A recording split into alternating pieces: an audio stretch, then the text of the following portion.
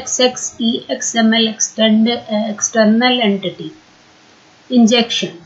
XML external entity injection, also known as XXE, is a web security vulnerability that allow an attackers to in interfere with an application's processing of XML data.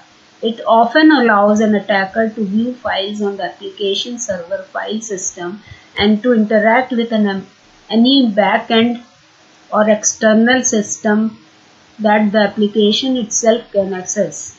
In some situations, an attacker can escalate an XXE attacker to compromise the underlying server or other backend in infrastructure by leveraging the XXE vulnerability to perform server-side requests. Forgery SSRF attack. So it is very dangerous and it's happened on the XML. Thank you viewers. If you like it, please share.